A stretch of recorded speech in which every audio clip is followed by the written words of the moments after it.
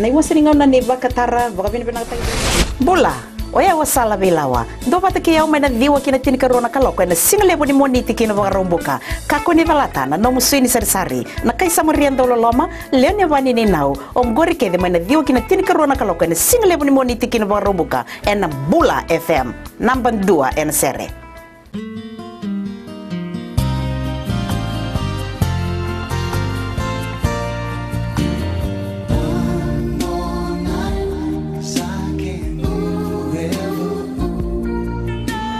Bula, I'm DJ Toro. Join me every Monday to Thursday, 7 until midnight.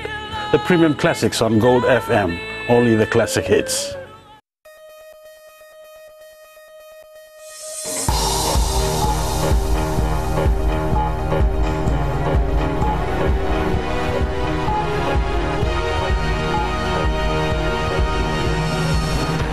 Tonight, new Catholic Archbishop is officially installed. Preparations already underway for 2014 budget. And LTA impersonators at it again.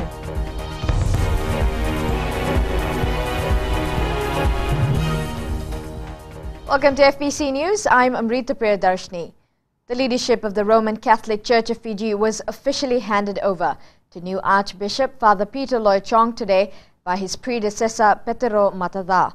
And the handing over at the Sacred Heart Cathedral in Suva this morning, Mataca reminded Archbishop Chong that his calling is beyond him and that he must continue the teachings of the Church. Roland Koroi reports. The Sacred Heart Cathedral hosts about 800 people, but this morning they came in the thousands, pouring out onto the streets, all wanting to be part of their new Archbishop, Father Peter Loy Chong's first Mass.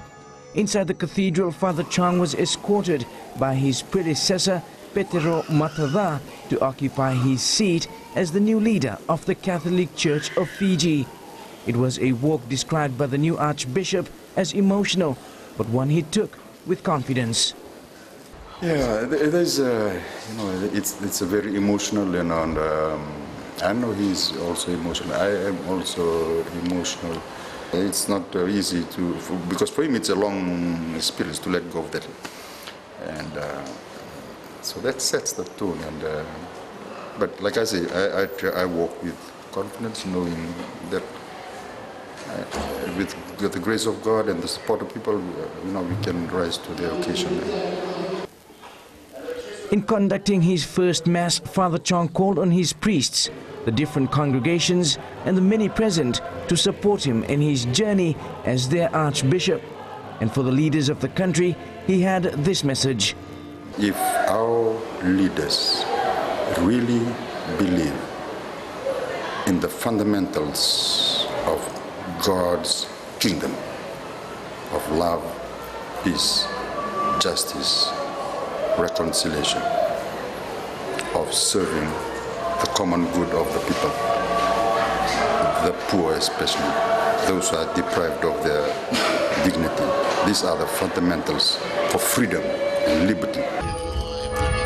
He told those present that the task that lay ahead of him wasn't easy, but he was ready to take on the challenge with the backing of his congregation.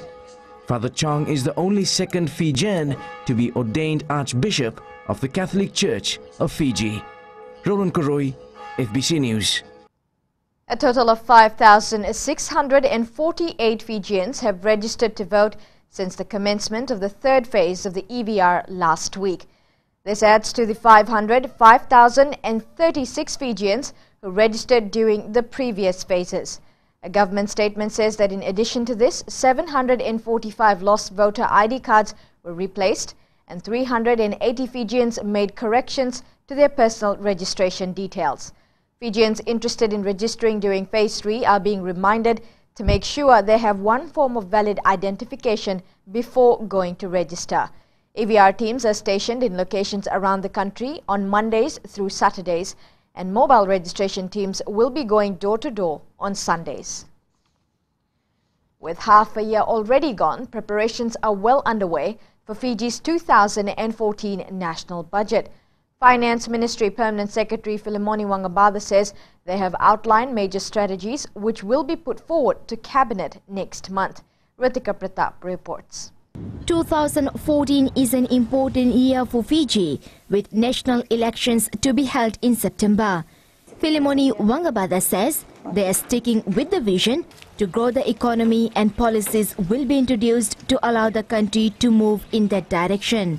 At this point in time, we've already formed that strategy, and uh, that will then go to uh, to Parliament, uh, to, to Cabinet, um, in um, this uh, next month, in July, uh, where it needs to be endorsed, and then we will begin to to talk with the once uh, Cabinet approves that, that strategy that we have, then we will begin talking with the private sector, um, and also government agencies as we design the uh, 2014 budget. National budget preparations begin immediately after the announcement of a new budget and the finance ministry says they've already designed their strategies. We have grown uh, quite well compared to 2010 where we achieved lower growth. 2011 we've increased in 2012 and now this year much higher consistent growth of a number of periods which uh, has not been seen for a while. Uh, we would really like to be hitting 5% uh, growth or more. The ministry will tap more into the private sector to increase investment activities. Prior to 2012, 2010 and 2011, it was actually government doing all the investments. Eh? Uh, and it continues to do that even this year and uh, I think government may continue to uh, will, will still need to hold uh, the fort moving forward in, in, terms of increasing investment in the economy.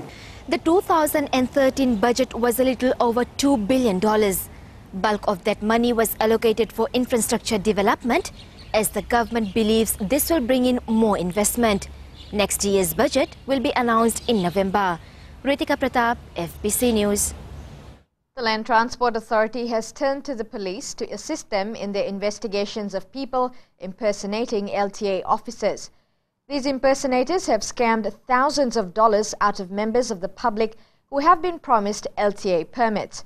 Roland Koroi reports.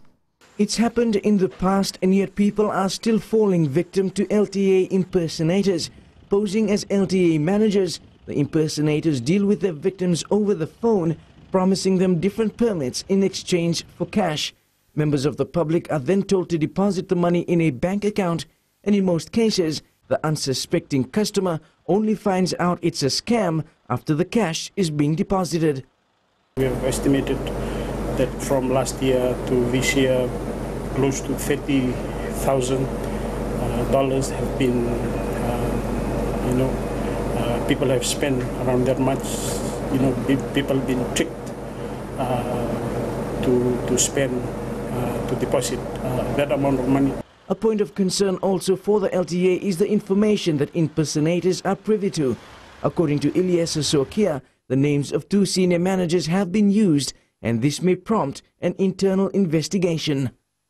We do uh, suspect that uh, there are elements of uh, collusion which would be involved within uh, these are cases that uh, we would probably need to investigate further and ascertain how true and where this information is coming from.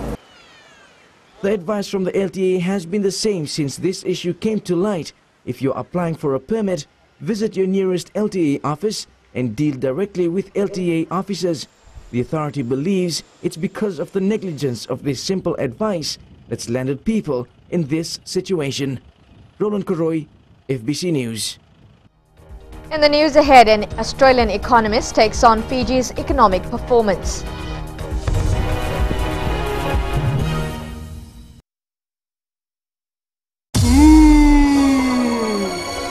आपकी शादी होने वाली है पांच पांच बच्चे होंगे पांच पांच पांच पांच हाय मैं हूँ आपकी सहेली वेनु सुनते रहिए मिर्च एफ़ मैं हूँ ना नौ से बारह बजे तक I wake up in the morning, I prefer to go down to the gym, get a bit of physical work done. Also, later on in the day, I decide to go through for meditation. I do a bit of reading to find out what the latest songs are, a bit of research. And for me, it's all about the listeners. Hey, what's up? I'm Rio, and this is the Traffic Jam every weekday from 3 o'clock to 7, only on Today FM. Today is hit music. What's up?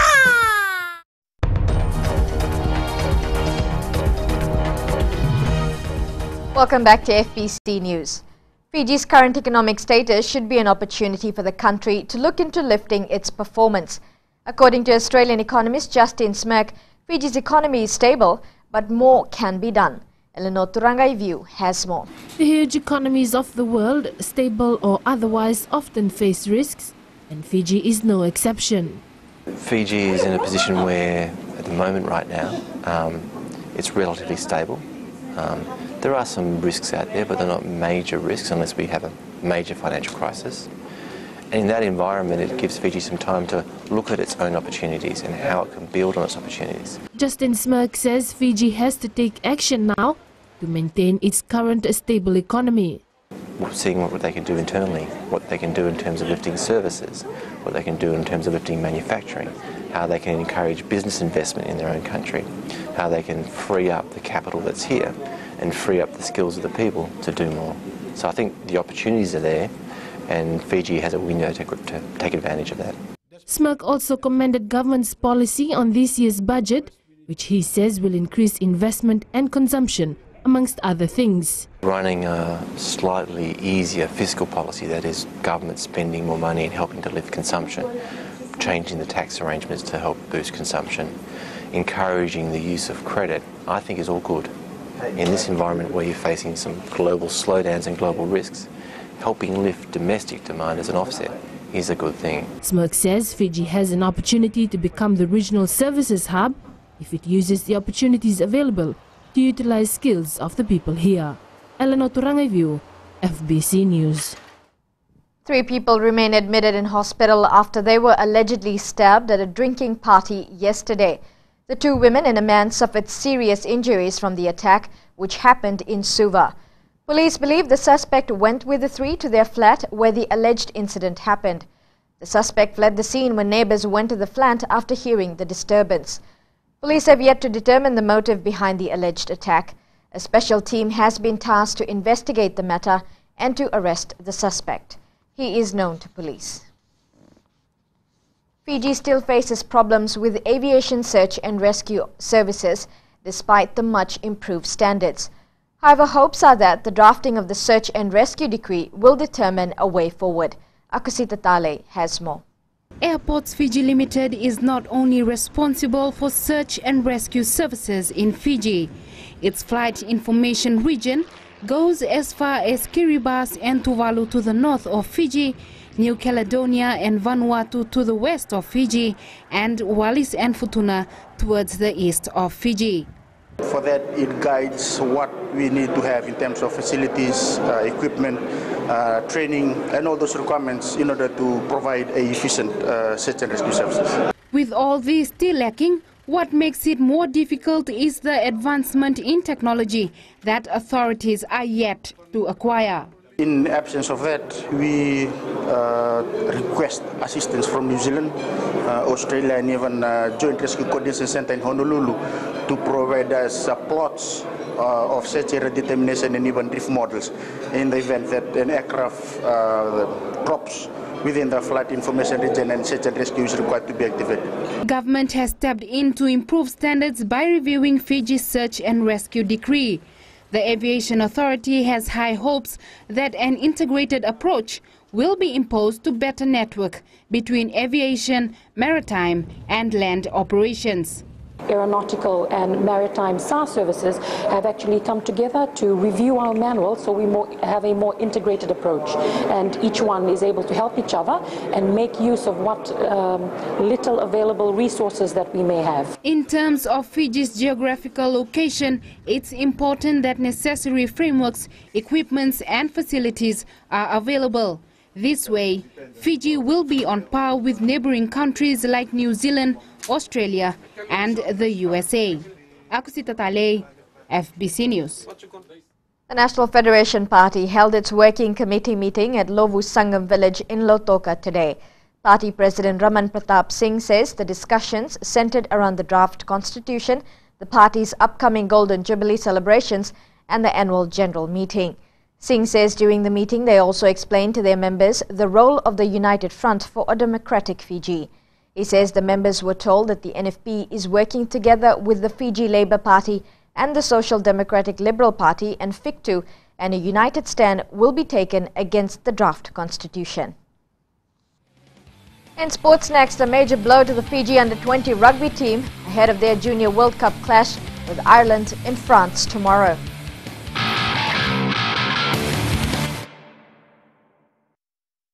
Bula, I'm Wame. Join me every weekday from 9 a.m. to 2 p.m. on The Center Show with classic hits from the 70s as well as the 80s right here on Gold FM.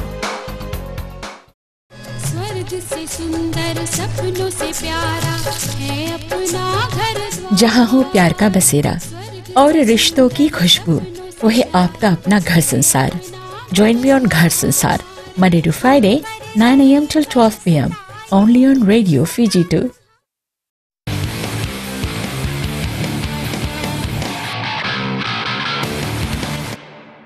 The baby flying Fijians have suffered a major blow ahead of tomorrow's pool match against Ireland in the Junior World Championship in France. After an IRB judiciary hearing, Fiji's Insight Centre, Sevenaya Nangalala has copped a six-week suspension while his teammate Viliame Rarasea has been slapped with a two-match suspension. The duo were found guilty of dangerous tackles in their JWC opener against New Zealand on Thursday.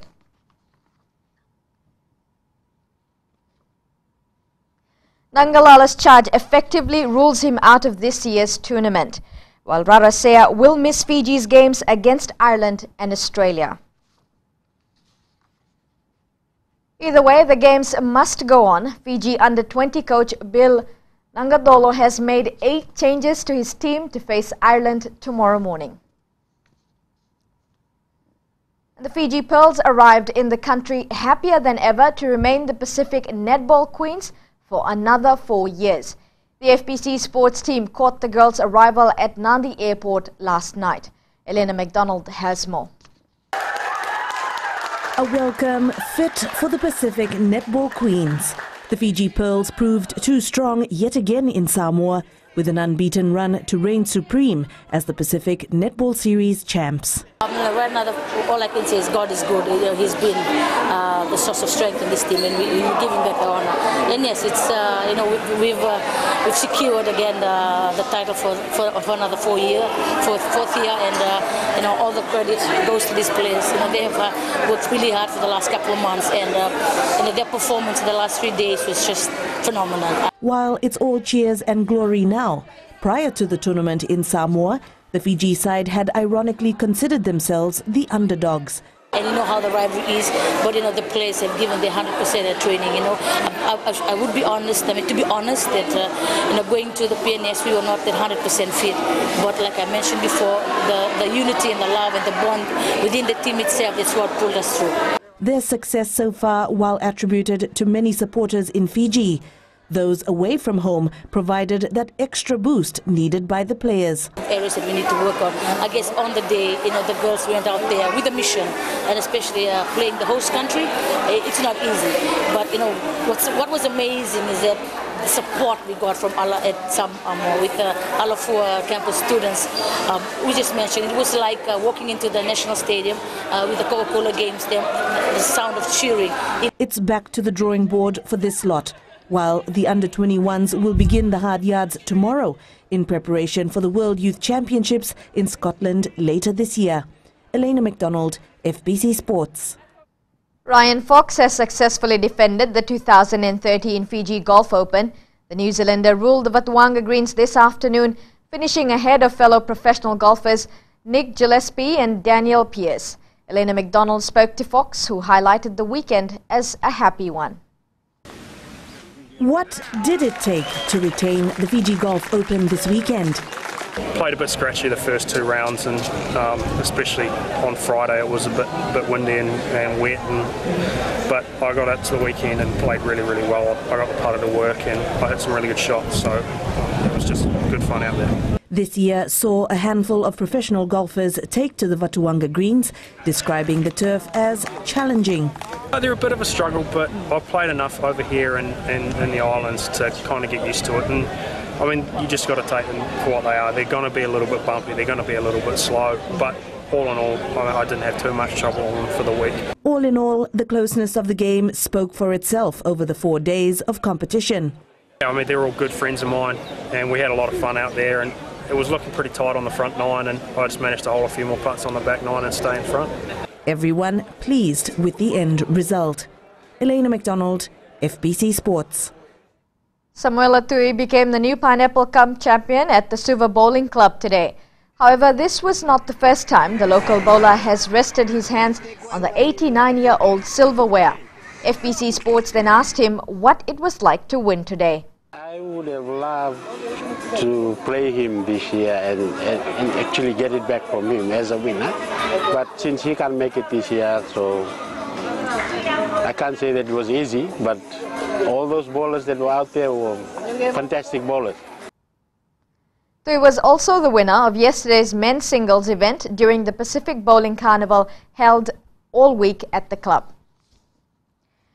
Winning major tournaments is one thing, but defending it afterwards is even harder.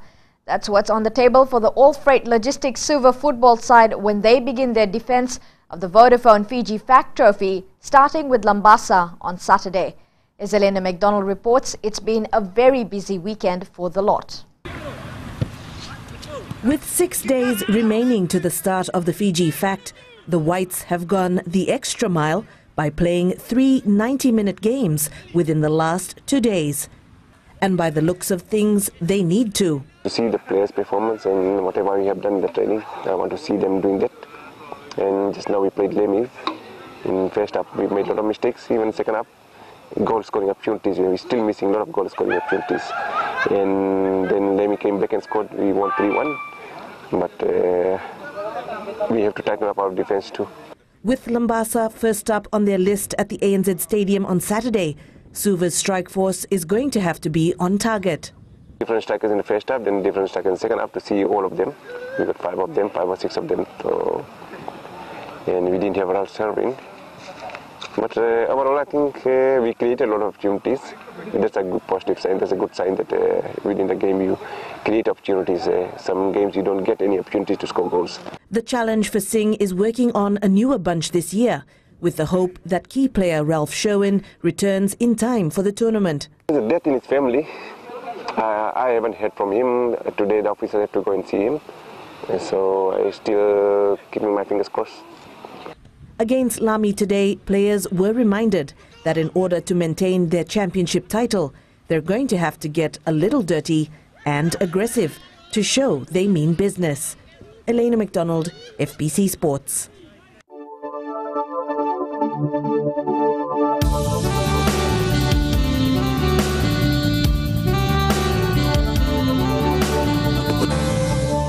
Savusavu and Suva were the only centres that had cloud cover today, and apart from this, it was fine weather across the country. Labasa heads the temperature chart tonight with 33 degrees at 4 this afternoon. Suva and Savusavu were the coolest. Tomorrow's weather should be fine apart from a few showers for the capital. And looking into the new week, it should be fine weather. The headlines again, a new Catholic Archbishop is officially installed. Preparations already underway for 2014 budget and LTA impersonators at it again. The weekly poll question now, and this is your last chance to take part before it closes tomorrow. We ask, can Fiji win the Pacific Nations Cup? Visit www.fbc.com.fj to have your say. And remember, you can send us newsworthy pictures and videos. Email citizenseyes at fbc.com.fj. Until next time, good night.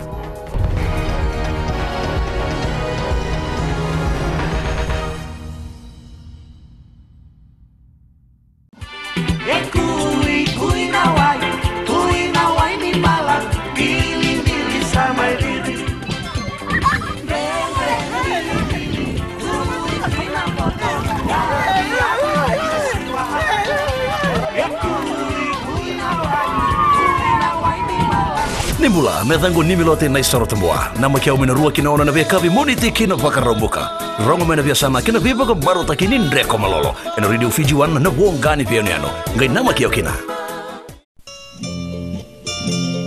ni zambulo binaka oya wone kamanalangi oni nandorungo diao mai na diwa kina rua na bisinga mai na moniti kina bagarumbuka na radio fiji wana ndomai biti bongani bionianu nama katalenga na bengo na sasi biani na tinna kaloko na bembongi ni bukelulu kena bima mani walu na bembongi ni bakarowai mai na mbuza ni ni ngai namaka